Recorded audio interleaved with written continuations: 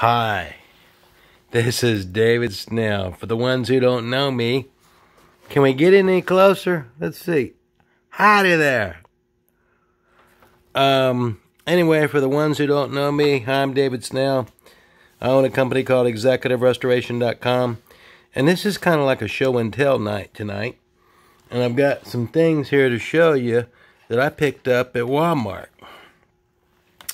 One, these are guavas. Have you ever had a guava? Oh my goodness, they smell so good.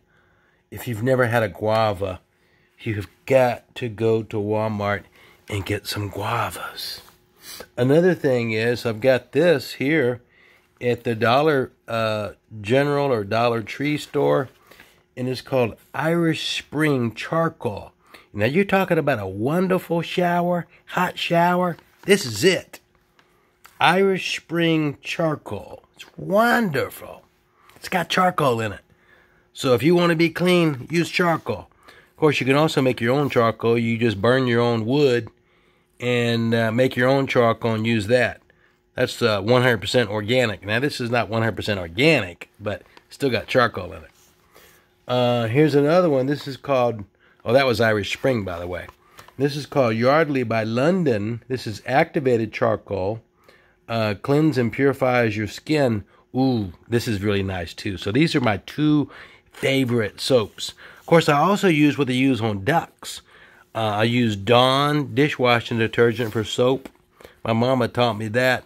And for the ones out there who want to see my hair, it's so soft and it's like cotton. Okay, let me put my hat back on here. It's my ACDC hat.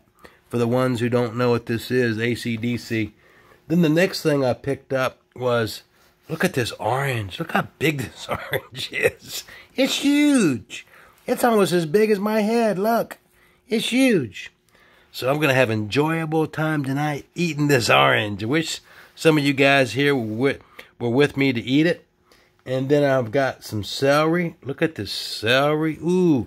And when I wash my celery, I put it in a big container and I put baking soda in there and some Dawn dishwashing detergent.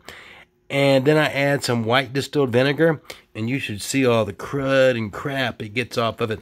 And so you want to let it soak for about 30 minutes. And then the next thing I've got is I've got some radishes here. Okay. I don't know if any of you guys like radishes, but so this is kind of like a show and tell night. And I got most of this stuff uh, the other night when I was at uh, Walmart, and uh, it was great. I especially like to have the guavas. Oh my goodness! If you've never had a guava, you've got to get yourself a guava.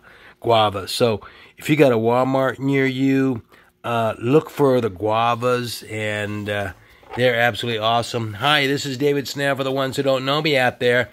And if you would just subscribe to this channel and share this out, I'd greatly appreciate it. Hi, it's David Snell, the executiverestoration.com. Got my we have the cure.com. Uh, I look forward to doing my next video. And until then, this is David Snell. Hope you're well. Bye bye.